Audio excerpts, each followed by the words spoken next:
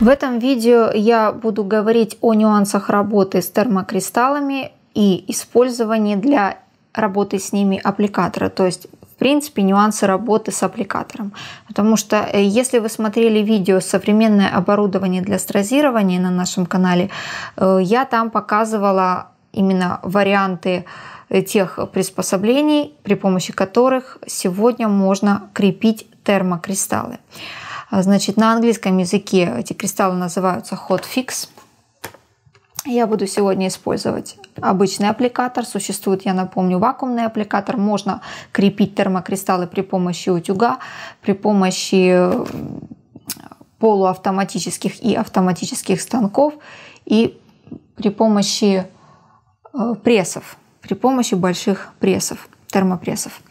Итак, э, мы говорим об аппликаторе. В первую очередь э, мы определяемся с размером нашего кристалла. Например, я буду использовать сейчас кристаллы Сваровски 16 размер, SS16 в диаметре, он 4 мм. Я беру свой набор насадок на аппликатор. Их здесь размеров этих насадок гораздо меньше, чем размеров кристаллов существует. И э, удобнее всего, если я использую, например, кристалл в диаметре, который 4 мм, взять насадку не на 4 мм, а чуть-чуть меньше, на 3 мм. Вот я брала 16 размер. Э, здесь у меня кристалл остался внутри, прилип не Сваровский, а простой, обыкновенный кристалл, недорогой. Но так или иначе, какой бы кристалл вы ни использовали, он тут застрянет. Нужно отсюда его, пока он горячий, сразу чем-то выковыривать. Вот чтобы на это не тратить ни время, ни усилия, можно взять просто диаметр чуть-чуть меньше и сразу использовать насадку чуть-чуть меньшего диаметра. Что я сейчас и буду делать? Итак, я прикрутила свою насадку, которую я выбрала, и включаю кнопку. Естественно, включен в сеть мой аппликатор. Беру те кружевные аппликации или, э, может быть, какой-то крой, какой у меня есть. Сегодня я покажу на примере аппликации, прикреплю несколько кристаллов для того, чтобы увидели, как, как с этим работать. Э, 2 минуты нужно, чтобы аппликатор нагрелся до нужной нам температуры, и дальше каждый кристалл за 5 секунд приклеивается. Раскладываем кристаллы по тем участкам, где мы хотим, чтобы они у нас присутствовали. Где же мы хотим? Я возьму другую аппликацию, та уже вся заполнена, можно сказать, кристаллами. И несколько штучек этих, несколько кристаллов прикреплю. Еще немножко надо подождать. Две минуты, я думаю, еще не прошло. Вот э, есть разница между тем, когда вы на какие-то нитки приклеиваете, либо приклеиваете на ткань, или вы приклеиваете на прозрачный материал, или вы приклеиваете на сетку. Вот я сейчас эти нюансы вам тоже все покажу. Так, думаю, уже две минуты прошло. Перпендикулярно поверхности стола я держу свой аппликатор. Прижимаю к кристаллу и держу так 5 секунд. Раз, два, три, четыре, пять. Проверяем. Со следующим поступаю так же. Раз, два, три, четыре, пять. Проверяю. Все. Кристаллы четко приклеились. Теперь, если я хочу все-таки на органзе где-то приклеить или на сеточке, вот как эти два, например, частички клея, который есть на второй стороне каждого кристалла, они пройдут сквозь материал на бумагу. То есть вы видите, я все это делаю на бумаге. Если это делать, допустим, просто на гладильной доске, во-первых, поверхность должна быть твердая. А, так легче работать, чем на мягкой поверхности. Кристаллы не будут сползать. На мягкой поверхности они будут сползать, вам их придется ловить все. Ну, в общем-то, можете попробовать и на мягкой, может быть, вам кому-то это понравится. Мне удобнее все-таки на твердой поверхности. Так, я обещала на прозрачной показать. Показываю. Итак, частички клея сейчас пройдут на бумагу. Долго ждать нельзя, иначе мы оторвем вместе с бумагой кристалл. Вот я убираю прекрасно отклеилась. А что будет, если я не сразу уберу, отклею от поверхности бумаги? Вот сейчас посмотрим. Приклеили, убрали, посидели, подождали, поговорили, забыли. Вот уже сложнее отклеивается. если еще дольше ждать, то просто будете вырывать с кусками бумаги. И вы увидите, что ну, не очень хороший вариант. Поэтому вот эти нюансы тоже их важно помнить при работе с прозрачными вот такими тоненькими материалами, как органза и сетка. Теперь, если нужно, э, допустим, стразировать перчатку уже готовую или не перчатку, а просто кружевную аппликацию, но она уже расшитая. Нам тоже здесь удобнее всего использовать аппликатор, а не утюг или еще что-то, потому что именно по одному камешку здесь совершенно спокойно мы можем приклеить в нужных нам участках. Но у меня здесь все просто заполнено бисером, я даже не представляю, и рубленым стеклярусом даже не представляю, куда еще здесь можно камни добавить. Ну, допустим, в пробелах между вышивкой на сеточке.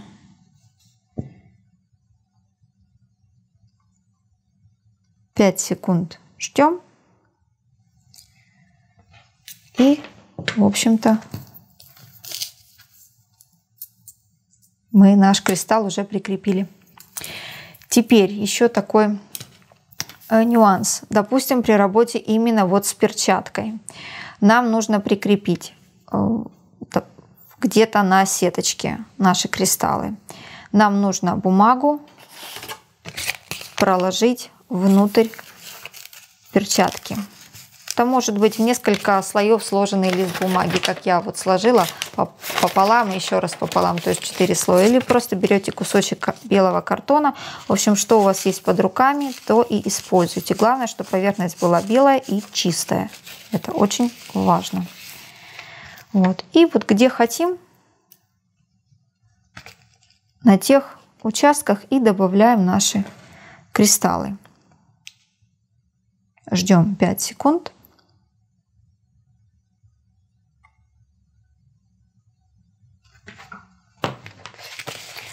Обязательно сразу отклеиваем от поверхности бумаги. Если мы хотим дальше проклеивать, то ждем еще буквально ну, 2-3 секунды, дать возможность этому э, кристаллу остыть, чтобы он снова, пока клей горячий, не приклеился где-то. Вот, нужно подождать несколько секунд, пока он остынет, и двигаться дальше. Все достаточно быстро, да, я дольше рассказываю, чем на самом деле есть. Если нам нужно поменять, допустим, размер кристалла, здесь у нас все еще насадка горячая, мы выключаем, ждем минут 10-15, пока э, не остынет наша вот эта насадка, она очень горячая, раскаленная, как вы понимаете, то есть нужно подождать. Только после этого меняем насадку на следующую и продолжаем работу. Если нет времени ждать, пока насадка остынет, значит нужно взять э, кусочек ткани, сложенный в 4 или больше количество слоев, и открутить вот эту насадку при помощи уже ткани. Вот ткань, кружево, что, что у вас есть под руками.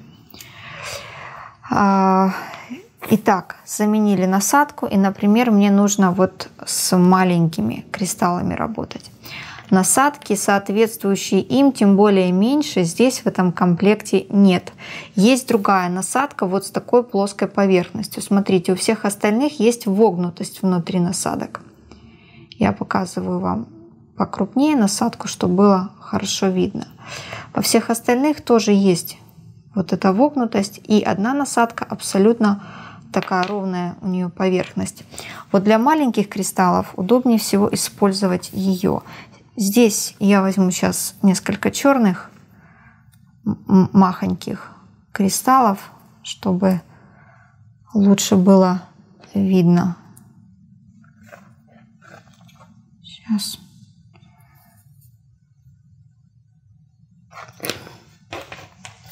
Удобнее, конечно, как по мне, удобнее всего работать, когда есть такая вот вогнутость. Ты ставишь прямо на кристалл вот эту насадку, и даже можно подвинуть кристалл прямо внутри э, насадки, который находится, если вдруг там он сдвинулся. Здесь так не получится. Здесь немножечко сложнее, хотя, в принципе, тоже ничего сложного. Чуть-чуть. Не так комфортно.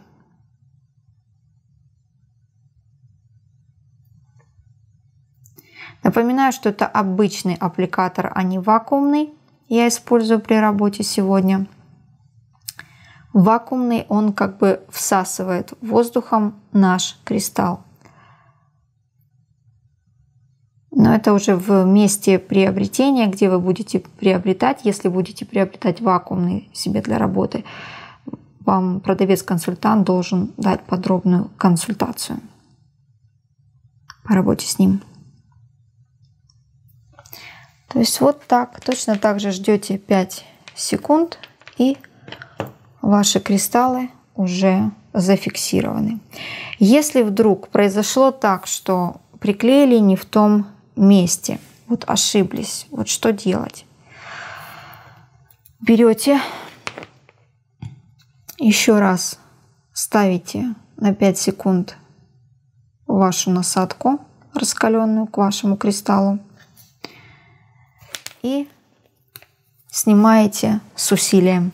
Я, например, отрываю при помощи своего ногтя. Может быть, кому-то нужно еще какое-то дополнительное приспособление на случай исправления ошибки. Кристалл, который вы убрали с поверхности, то есть тот, который я только что убрала, как бы так сорвала с усилием, повторно использовать уже нельзя.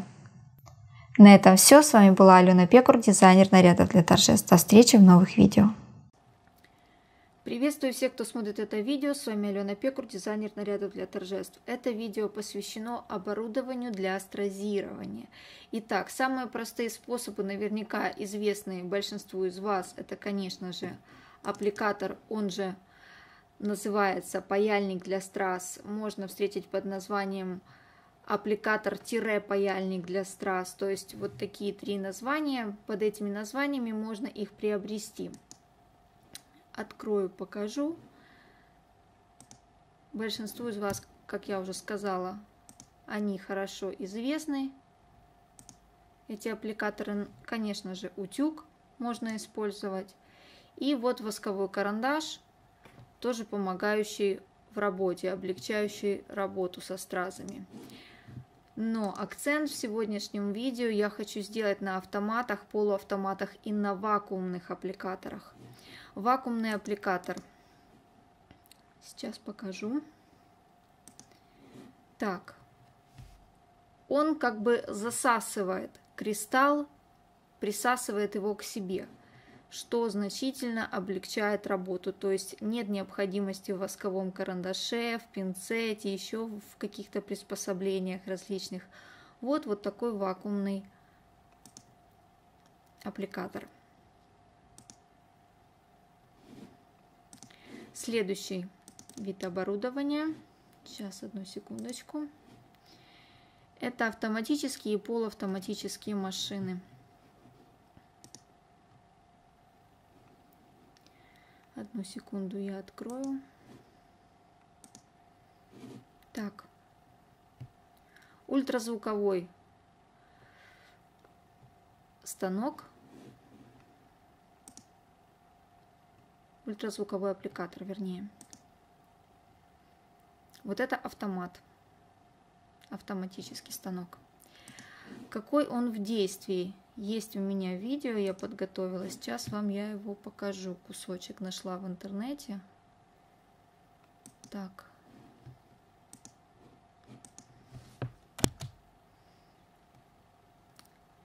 Это дом моды Элиса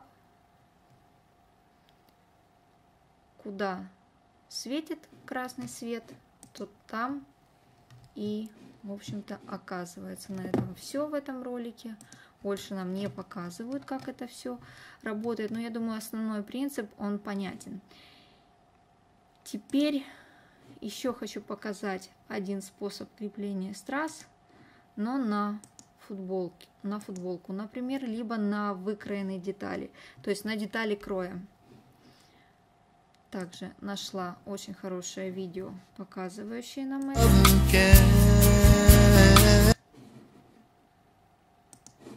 Сейчас.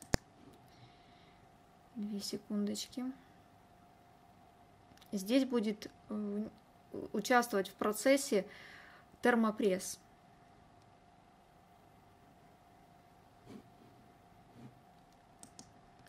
Немножечко ускорю.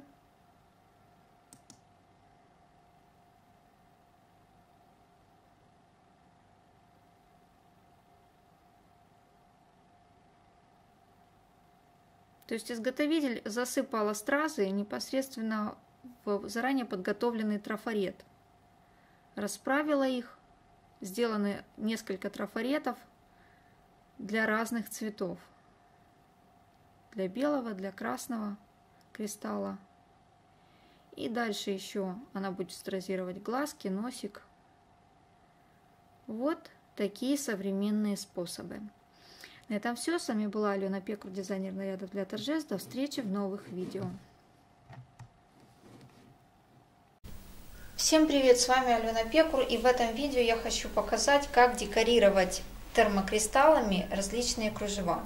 Итак, нам понадобятся сами термокристаллы, нам понадобится кружевное полотно и белый лист бумаги. Конечно же утюг, вот наш утюг которым я сегодня буду работать. Вот самое важное это платформа.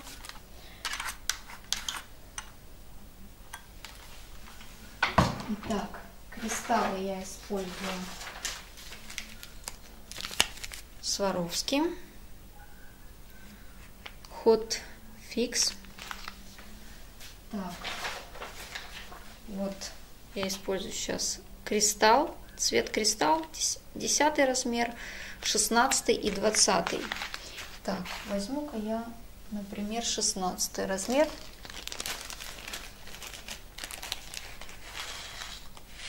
Можно использовать не только Сваровски, но я их использую по следующим причинам. Сейчас я вам буду делать буду рассказывать. Значит,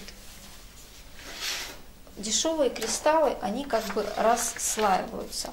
То есть хрусталь или э, стекло, и здесь хрусталь является основой для этого кристалла.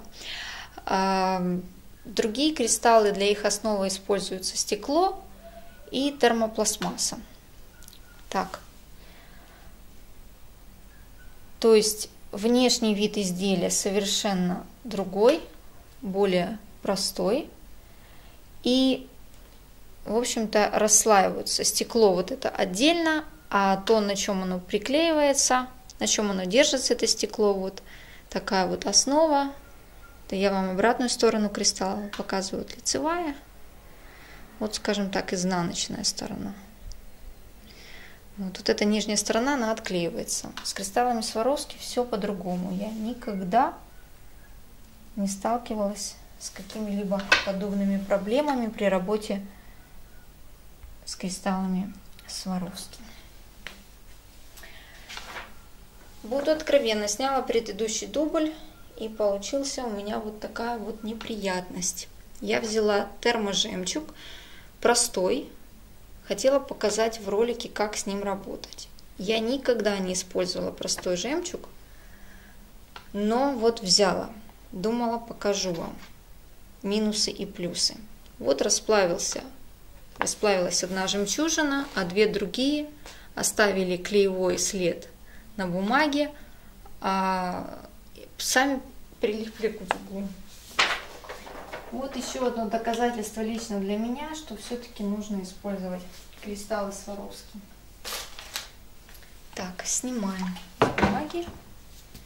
Вот наши камни уже приклеились. Можем попробовать на другом кружеве. Например, более плотные кружева. Вот здесь вы можете видеть, уже есть кристаллы. Возьмем еще не декорированную аппликацию кружева макраме или их еще называют венские кружева. Итак, выкладываем то, что нам надо, там, где мы хотим. Поскольку я уже взяла 16 размер в руки, то я заполню те места, где у меня 16 размер. После того, как кружева декорируем кристаллами, мы можем, если мы хотим, конечно же, дополнительно аппликацию или кружевное полотно, или кружевной край, что мы там декорируем, расшить, например, бисером или рубленым стеклярусом. Вот как, например, на том полотне, с которого я начала этот ролик. Я сейчас вам его еще раз покажу. Почему бумага под низом? Потому что в некоторых эм, частях кружево, оно недостаточно плотное, вот, как, например, вот здесь, то есть есть сеточка, здесь основой была у нас сеточка, и если не положить бумагу, то просто прилипнет к чехлу гладильной доски. Просто приклеится и все. И потом останется вот этот клей на гладильной доске, и, в общем-то, нужно делать новый чехол. Либо, если не сделать, то то изделие, которое вы будете утюжить в следующий раз на вашей гладильной доске, ждут неприятности. Останется какой-то клеевой след уже на изделии. Вот, в общем-то, три вот этих кристаллика у нас уже есть. Можем добавить и еще. Здесь в цветах у меня стоит 16 размер. Вот эти покрупнее 30 размер, а цвет называется кристалл. Вот он, кристалл.